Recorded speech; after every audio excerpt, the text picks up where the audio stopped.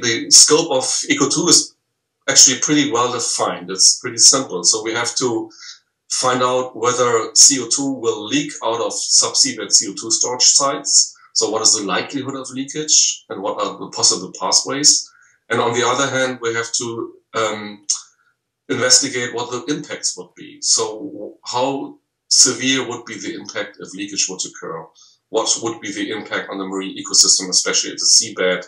how bad would the damage be if CO2 comes out of these storage sites. One of the big advantages of the EU project is that we can tap on all the different expertises and resources and instrumentation that is available in different European countries. So to set up a really um, cutting edge field program, for example, investigating all these sites uh, that we look at, we need a lot of different instrumentation and techniques, very advanced techniques. And there's no signal institute at Europe that has all, all, all of these facilities. So we have to team up and bring together the best instrumentation that we have. And the same thing applies to people and their expertise.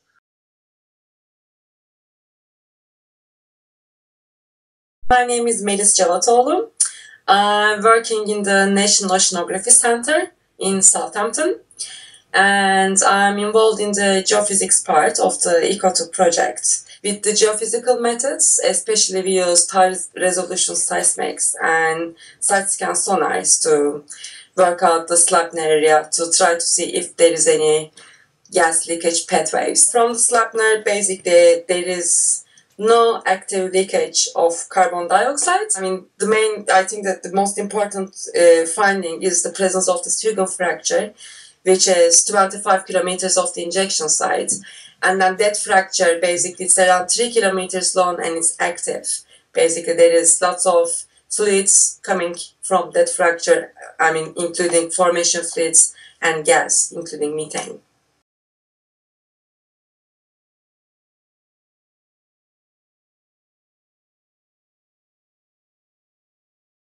My name is Alike Stephen O'Brien, and I conducted uh, the legal research on behalf uh, in ECO2 on behalf of the University of Trier. Ultimately, this uh, this technology is in the beginning quite difficult to grasp. It's very complex, very technical, um, and also the impacts in the beginning. The scientists themselves were not really clear. What are the outcomes? What are the potential impacts of CCS? So that was a bit of a challenge sometimes to translate the scientific knowledge into a legal framework and um, because the disciplines work very much different. We all were aware that we are working in an interdisciplinary research project and that you need to maybe step away from your own discipline and think differently because in the end it is about translating scientific information into a sort of environment protection standard framework that is then um, that, that, that demonstrate the acceptability of risk or not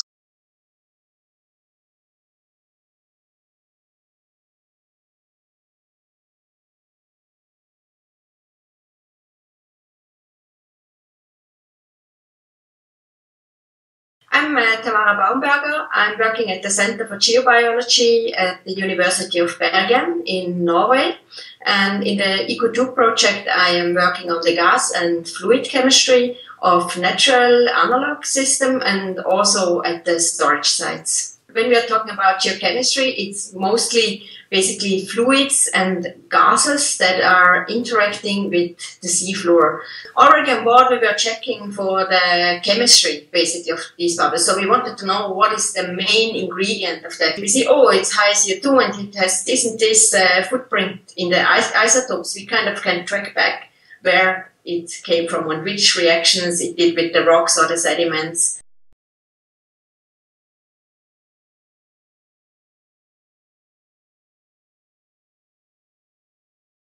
My name's Elizabeth Morgan, and I was one of the marine biologists on the ECO2 project. And I looked at the, the first signs that the respiratory response um, was going to be suffering from increases in um, acidification. Um, so, if the animals were unable to adequately respire, and then we also combine that with looking at the immune response. Were these organisms going to become more susceptible to diseases as a response of increases in CO2? If we can get a really good understanding of um, what species are the most vulnerable, what species are the most resilient within the same community. We can start to build an understanding of how communities as a whole will um, react to a CO2 leak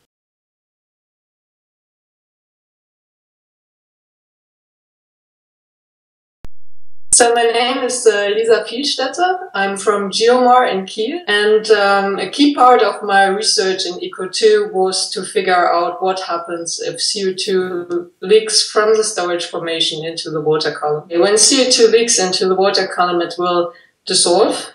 And when it dissolves, um, the water will become acidified. I developed a, a plume dispersion model actually, so we can predict the dispersion of leaking CO2. The main conclusion is um, that the impact of, of a CO2 leak is limited to the bottom waters and also to a small area around the lake because the currents dilute the elevated PCO2 waters very quickly.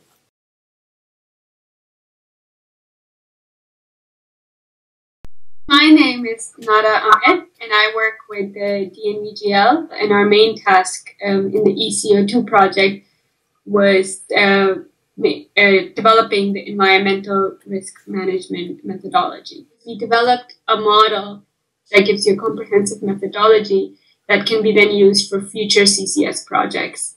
What I enjoyed about the ECO2 project was the opportunity it gave um, for a lot of people from different disciplines to come together um, we met every year in a huge consortium, and that allowed us to share uh, the different work that we've been doing on, on this topic. Um, something that we all feel very passionately about. It was great to see everyone come together and kind of maintain the enthusiasm around this project throughout the four years.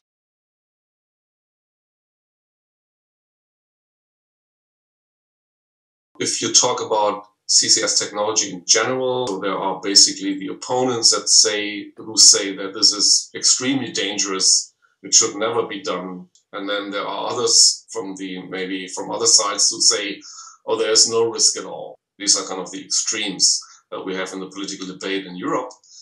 And we put more natural science realism to all that debate.